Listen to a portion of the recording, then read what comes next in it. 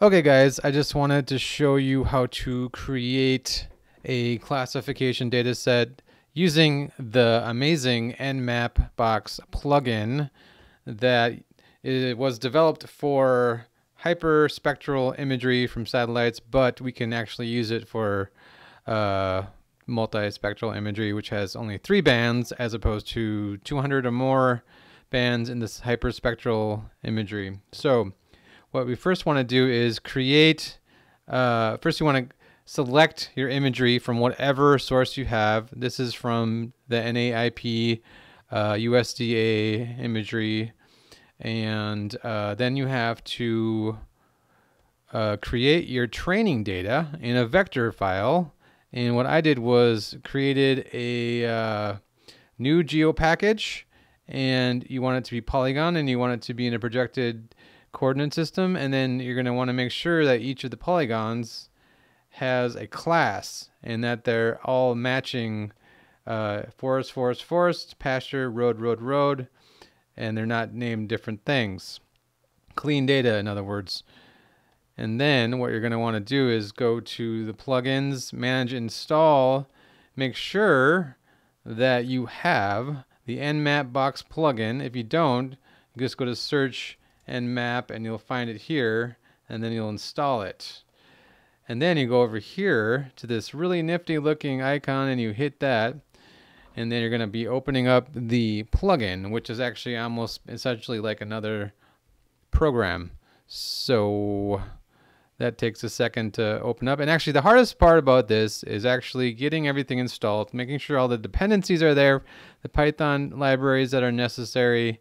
And so I ended up uh, installing everything, including another QGIS package into a Conda environment and Mapbox Conda environment. And that works okay, but it seems like it slows up the computer a little bit, so I wouldn't process any imagery over, say, 40, 50 megabytes uh, if you're on a small laptop like myself. And so then you're going to want to open up your data sources and you're going to take uh, the training data and the TIFF, you can just hold down control to get both of those.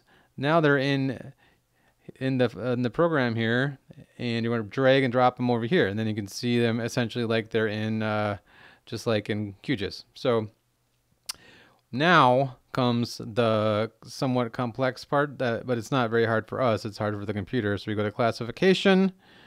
Um, we go over to classification workflows. Is where uh, all the action happens. We need a training data set. So what we're going to do is, we can do that before, but we're going to do it right now. And we're going to go over here and we're going to create a classification data set from the vector file on the feature raster. So then we have the uh, categorized vector layer and then we have the feature raster and make sure we use the correct field with the class values. We're going to run that and that's going to take us uh, some time perhaps and that will create our classification data set, which is what we need to create our classified raster. And then so that creates, uh, that gives us the percentages, and what we're going to do is pick the sample size, uh, basically the test data, test and training data, and so 70 we'll use that, and it automatically populates the sample size, and then we save that, save it, and then you're done with that. So we can exit out of that, updated set a pickle file. And you can see here we have the random forest classifier used, which is from the scikit-learn machine learning library. And you can actually pick other ones. We don't want to do that right now. What we do want to do is go ahead and make sure we have our output classification layer saved to a file. Um, we're going to just do we did this before, we ran through this before just to make sure it worked, then we're going to run that. Um, the raster layer with features, that that that will help. Yep. All right. And then we run that. Uh, and so this is where it is using up all your computer's memory if you're on a small laptop like myself. So I will cut this and we'll be right back. All right, and now you can see it's all finished up and we're done with that. So we can close it and got to remember to go over here you can see in the background here it uh, loaded up the classified layer, but we need to load it up. Go ahead and, and load it up here. Right here into class TIFF.